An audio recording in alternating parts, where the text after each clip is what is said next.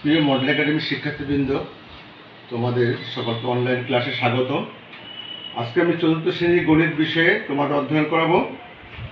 আজকের বিষয় প্রকৃত ভগ্নাংশ ও প্রকৃত ভগ্ন সম্পর্কে আলোকপাত। প্রকৃত ভগ্নাংশ প্রকৃত ভগ্নাংশ কি? প্রথমে বলতে হবে প্রকৃত ভগ্নাংশ প্রকৃত ভগ্নাংশ কি? এটা সম্পর্কে তোমাদের জানতে হবে। প্রকৃত ভগ্নাংশ এর আগে তোমরা ভগ্নাংশের উপরে যেমন লব, নিচে হলো হর, এই সম্পর্কে তোমরা জানো। উপরেটা লব, নিচেরটা হর, সে সম্পর্কে তোমরা জানো। এখন প্রকৃত ভগ্নাংশ কি? হ্যাঁ যে সকল ভগ্নাংশের লব ছোট এবং হর বড়।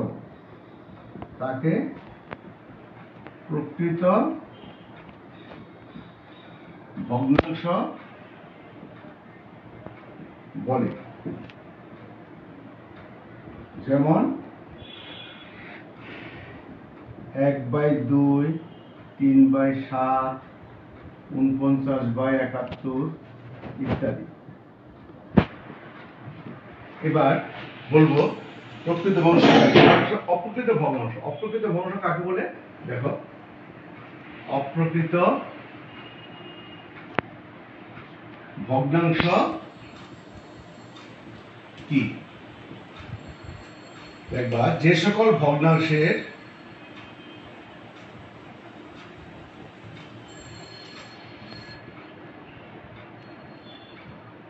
লব বড় এবং হর ছোট।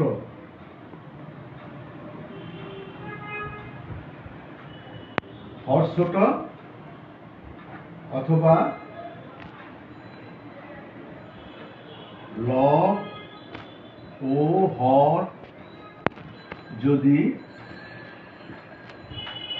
একই রকম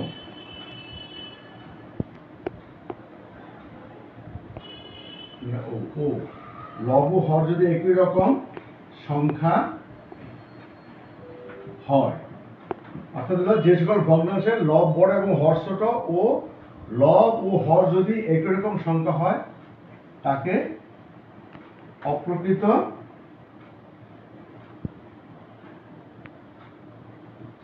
ভগ্নাংশ বলে।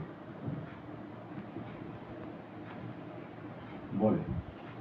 যেমন যেমন পাঁচ বাই তিন, আট বাই আট,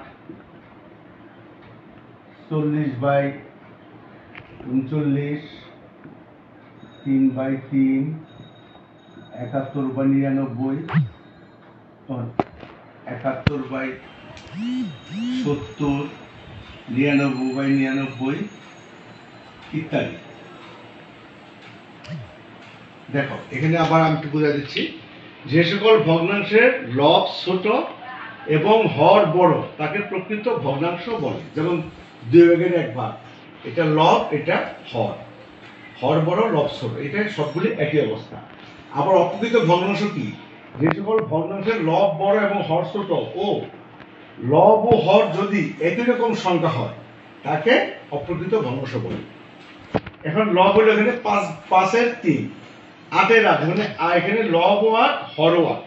এরকম ভগ্নাংশ হলে সেটা অপ্রকৃত ভগ্নাংশ উনচল্লিশ উনচল্লিশের চল্লিশ, তিনের তিন, এই দেখো, লব ও একই রকম এইটা অপ্রকৃত ভগ্নাংশ এখানে প্রত্যেকটাই অপ্রকৃত ভগ্নাংশ এখন প্রকৃত ভগ্নাংশ অপ্রকৃত ভগ্নাংশ সম্পর্কে আমি তোমাদের একটু ধারণা দিয়ে দিলাম। এটা যদি না বোঝো বারে বারে ভিডিওটা মানে দেখে আবার তোমরা দেখবে এবং শিখবে। এটা তোমরা সবাই খাতায় উঠিয়ে ফেলো।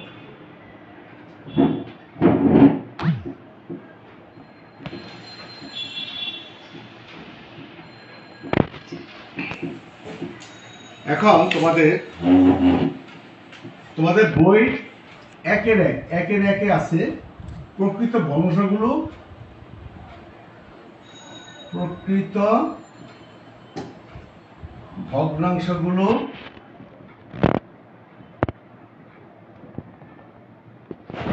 হলো আছে হলো লেখা আছে।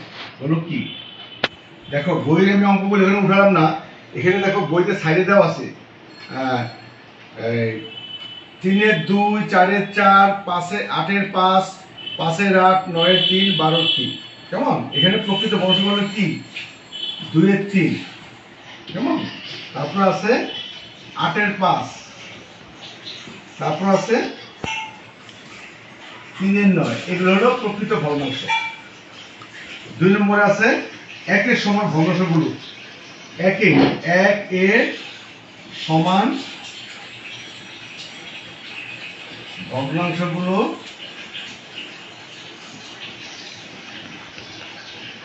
হলো বইতে আছে, দেখো, বই চুরানব্বই পৃষ্ঠা চুরানব্বই পৃষ্ঠা। এক নম্বরে, একের এক, একের দুই। একের সমান ভগ্নাংশগুলো কি আছে এখানে?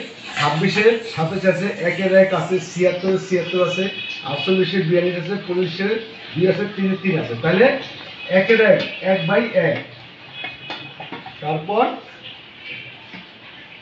ছিয়াত্তর বাই ছিয়াত্তর। তারপর তিন বাই তিন। এগুলো একের সমান। একের সমান তুমি কীভাবে যে একের সমান?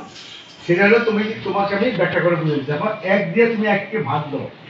একে একে, এক। হইল একের সমান আবার ছিয়াত্তর ছিয়াত্তর দিয়ে ছিয়াত্তরকে ভাগ দাও। ছিয়াত্তর একে ছিয়াত্তর। হ্যাঁ আবার দেখো, তিন দিয়ে তিনকে ভাগ দাও। তিনে একে তিন। তাহলে কি হলো? জিনিসটা দেখো, প্রত্যেকটা মানে কিন্তু এক। প্রত্যেকটার মানে কিন্তু এক। তাহলে বুঝতে পারলা কোনটা? যে একের সমান ভগ্নাংশ বলে কি? তোমরা সেটা বুঝতে পারো। কেমন? এবার তোমরা দেখো, গাণিতিক প্রতীক ব্যবহার করে করে নিচের ভগ্নাংশগুলোকে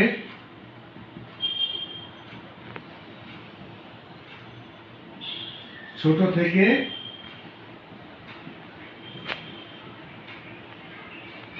বড় ক্রমে সাজাও।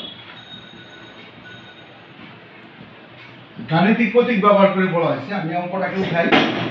এই দেখো অঙ্কটা এক নম্বর অঙ্ক এটা সাতের ছয় কমা তিনের সাত কমা, সাতের সাত কমা দুয়ের সাত। এখন বলেছে, গাণিতিক প্রতীক ব্যবহার করে ভগ্নাংশগুলোকে ছোট থেকে বড় ক্রমে সাজা মানে ছোট থেকে বড় সাজাতে বলেছে। এখন এখানে ছোট চিহ্ন কোনটা? ছোটকে বলা হয়, যে এটা বলে, এটাকে বলা হয় লেস দেন বা ছোট চিহ্ন। এটা হলো গেটার দেন বড় চিহ্ন।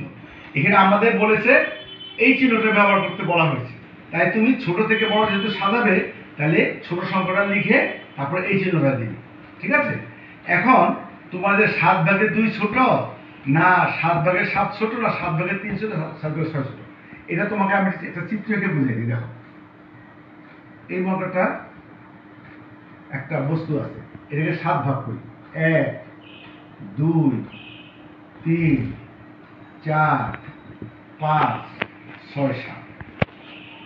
এক, দুই, তিন, চার, পাঁচ, ছয়, সাত। এই সাত ভাগ করে এখন দেখো বলছে সাত ভাগের দুই ভাগ। সাত ভাগের দুই ভাগ হলো যে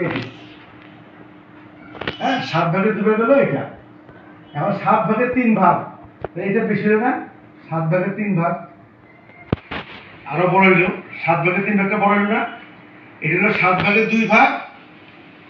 এটা আরও হইল সাত ভাগের তিন ভাগ। দেখো, সাত ভাগের তিন ভাগ আরও বড় আবার যদি সাত ভাগের ছয় ভাগ, এটা আরও বড়। সাত ভাগের ছয় ভাগ।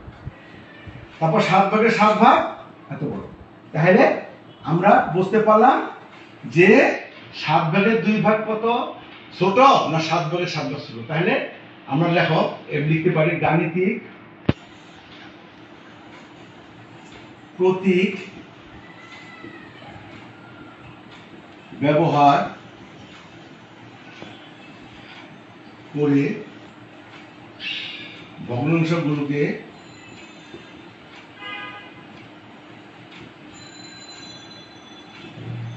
ছোট থেকে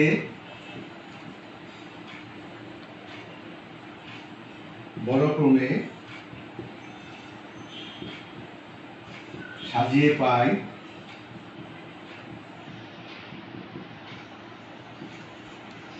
এই সাতের সাত ভাগে দুই ভাগ লেস দেন সাত ভাগে তিন ভাগ লেস দেন সাত ভাগের ছয় ভাগ লেস দেন সাত ভাগের সাত ভাগ। অবশ্যই তুমি অঙ্কগুলি বলেছ, কেমন? এগুলি, এই অঙ্কগুলো ভালো করে খেয়াল করবে। আরও আরও দুইটা অঙ্ক আছে।